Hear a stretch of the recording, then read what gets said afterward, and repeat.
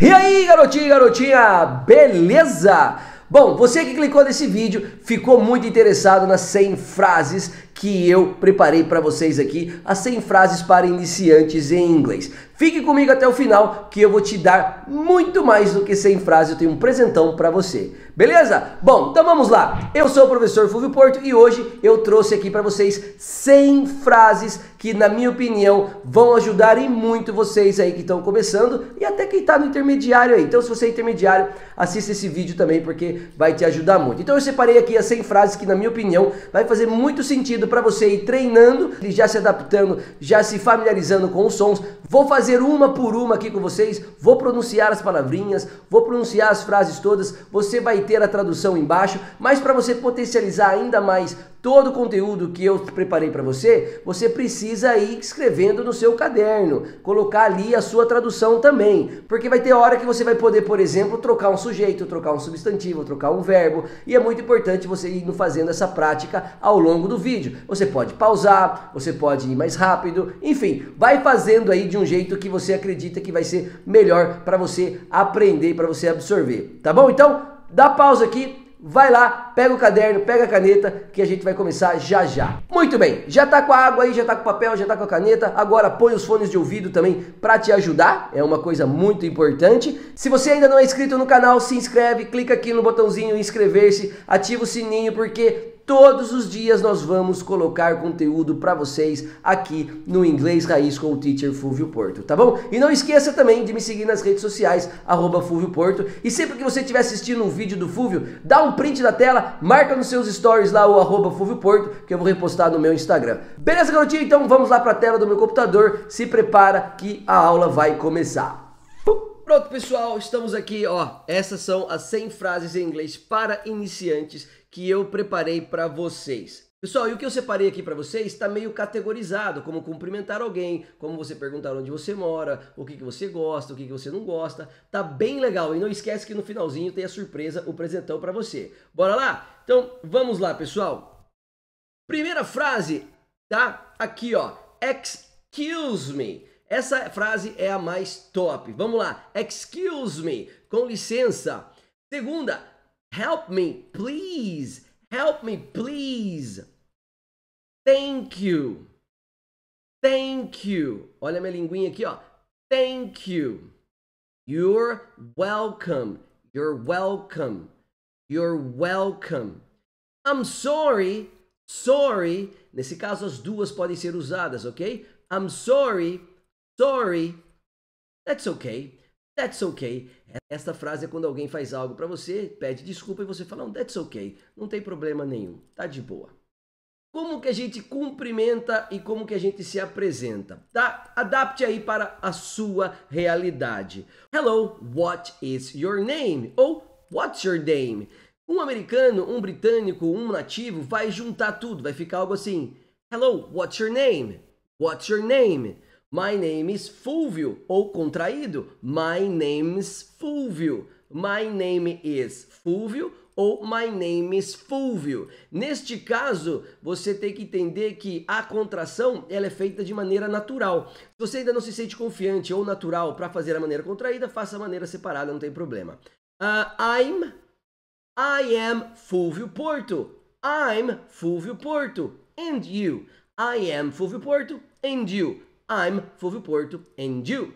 Good morning, good morning, good afternoon, good afternoon, good evening, good evening. Junte aqui, ó. Good evening, good evening. Hi, how are you? Hi, how are you? Não é how are you? How are you? Não é. O are é mais forte. How are you? Hi, how are you? I'm fine. How about you? I'm fine. How about you? I'm very well. I'm very well. I'm Brazilian. I'm Brazilian. Oh, I'm from Brazil. I'm from Brazil. Tenta fazer sempre o M mais forte, não o M preguiçoso, ó.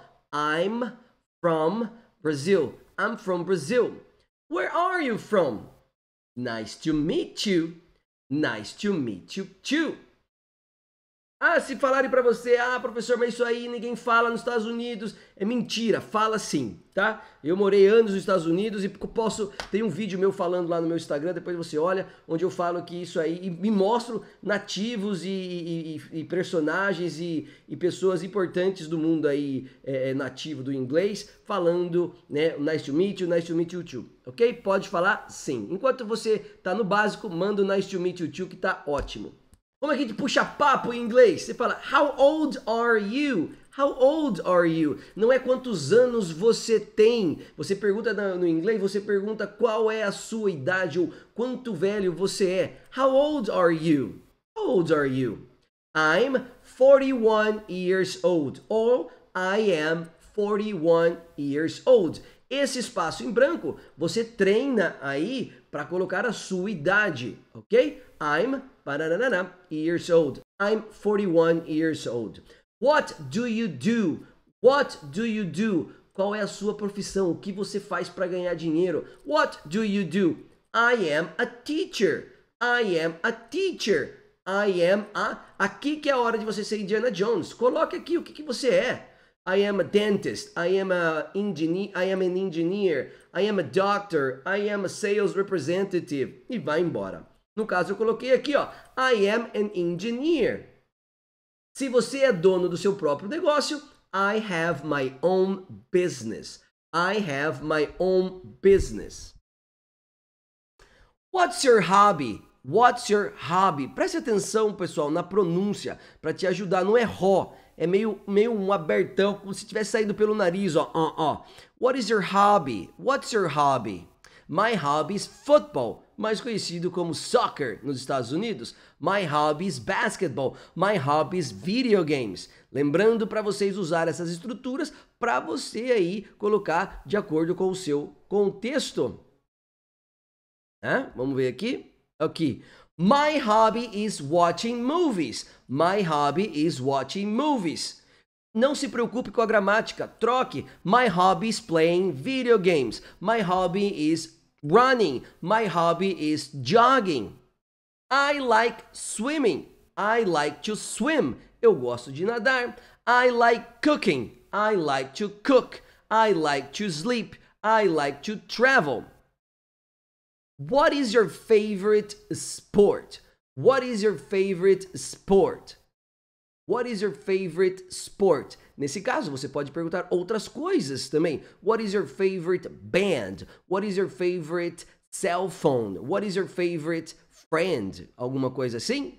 No caso aqui no plural, né? Como o caso de filmes, eu ponho o are. What are your favorite movies? What are your favorite movies? My favorite sport is basketball. My favorite sport is basketball. Vão fazendo mentalmente junto comigo, pessoal, para vocês irem aproveitando essa aula. Depois você volta, faz de novo, treina, treina que essa aula é espetacular. My my favorite movies are Rambo and Rocky. Eu fiz o sonzinho aqui, né? No caso, é, mais, mais americano, mas você pode falar Rambo ou Rocky, não tem problema. My favorite movies are Rambo and Rocky. Who is your favorite singer? Who is your favorite singer? Who are your favorite actors? Who are your favorite actors? Do you like pizza? Do you like pizza? Yes, I do. No, I don't. Eu não gosto muito de usar essa estrutura, mas ela vai te ajudar muito na hora de conversar, bater papo com alguém. O que eu sempre peço para os meus alunos é para eles sempre repetirem a frase cumprida para criar a fluência de falar todas as palavrinhas que você está trabalhando. Do you like pizza? Yes, I like pizza. Do you like movies? Yes, I like movies. Vai trocando, pessoal. Do you like uh, beer? Yes, I like beer. I love music. Isso é para falar coisas que você tem um sentimento maior por aquilo, como amar. I love music. I love sports. I love video games. I love you. I love my friend. I love my sister. Agora o verbo odiar. I hate broccoli. I hate volleyball. I hate waking up early. I hate uh, sleeping until late. I hate uh, playing volleyball. Vai usando a mesma estrutura. Você não precisa perguntar para mim, ah, por que, que tem gerúndio? Usa a mesma estrutura. I hate waking, I hate playing, I hate sleeping. What kind of music do you like? What kind of music do you like? I like rock. I like pop music. I like hip hop. Do you enjoy watching TV series? Do you enjoy watching TV series? Mude. Do you enjoy watching movies? Do you enjoy watching movies? Olha a estrutura, ó. Do you enjoy reading books? Do you enjoy reading books? Do you enjoy playing video games? Do you enjoy playing video games? Perceba que eu coloquei gerúndio porque eu estou colocando na mesma estrutura, no mesmo tipo de frase. More or less, ou então so-so. I'm interested in cinema. I'm interested in cinema. Um pouquinho diferente, um pouquinho difícil pronunciar. Treinem aí. I'm interested. I'm interested. I'm interested, ok? I'm interested in cinema. Um jeito interessante também de falar quando você curte alguma coisa, você está afeiçoado por, por alguma coisa, você usa fond. I'm fond of literature. I'm fond of reading. I'm fond of basketball. I'm fond of CrossFit, que agora está na moda, né? E quando você ama muito, você está fissurado, tá ligadão, igual eu agora tô ligadão no Prison Break. Eu posso falar I'm keen on Prison Break. I'm keen on fashion. I'm keen on video games. Ou você pode também dizer a de baixo. I'm crazy about aquilo que você é crazy about. I'm crazy about art. I'm crazy about football. I'm crazy about soccer. I'm crazy about video games. Vamos lá agora para perguntas. Do you have brothers or sisters? Do you have brothers or sisters? I have a brother. I have two brothers. Oh, I have a sister. I have three sisters and a brother. Aí você responde. Se você não tem nenhum, você diz I am an only child. I am an only child. Então, contextualize para você. Depois você volta de novo desse vídeo, assiste e contextualiza, coloca no seu caderno para você ir respondendo. I have a brother, I have one brother and two sisters, I have two brothers and three sisters, e por aí vai. Do you have children? Do you have children? Você tem filhos? I have a son and a daughter. I have a son and a daughter. Ou I don't have children. I don't have children. No caso, eu não coloquei aqui porque eu pulei com pets. Do you have pets? Do you have pets? I don't have pets. I have a dog. I have a cat. I have two dogs. I have two cats. I have a bird. Where do you live? Where do you live? I live with my wife or I live with my husband. I live with my parents. I live with my parents. I live in a house. I live in a house. I live in an apartment. I live in an apartment. I live in Porto. I live in Porto. Aqui, mesma coisa. Atualize aí, adapte para o seu contexto aí. Are you married? Are you married? Yes, I am. No, I'm not. Yes, I am. No, I'm not. I'm single. I'm single. I'm married. I'm married. I'm divorced. I'm divorced. What is your phone number? What is your phone number? What is your email? Presta atenção no e-mail, hein? Um pouquinho, um pouquinho de força maior no i. What is your email? What is your email? Are you on Facebook? Are you on Facebook? Are you on Instagram? Are you on Instagram? Where do you study? Where do you study? I study at Fulvius Online Course. I study at, e você coloca o nome da escola, da universidade, ok? Boa. Aqui para você falar um pouquinho sobre sentimentos e emoções. I'm happy. I'm cold. I'm cold. I'm hot. I'm hot. I'm hungry. I'm hungry. I'm thirsty. I'm thirsty. I'm thirsty. I feel wonderful. I feel wonderful. Okay? I feel tired. I feel tired. I feel wonderful. I'm good. I'm good. I'm not okay, man. I'm not okay. Duas formas de você dizer como é você está. Good, wonderful, I'm not okay. Para você se despedir, good night, goodbye, bye bye, bye. See you later. See ya. See you. See you later. See you. Ou então, see you soon. See you soon, man. See you soon, girl. Have a good day. Have a good day.